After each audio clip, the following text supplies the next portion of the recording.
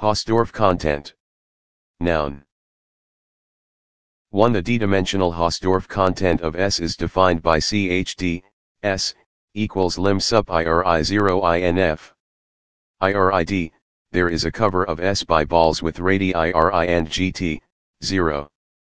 Backslash display style C underscore HD, S, colon equals backslash lim underscore backslash sup underscore ir underscore i backslash right arrow zero backslash inf backslash biggle backslash backslash sum underscore ir underscore id colon backslash text there is a cover of s backslash text by balls with radii r underscore i and gt, zero backslash bagr backslash dot.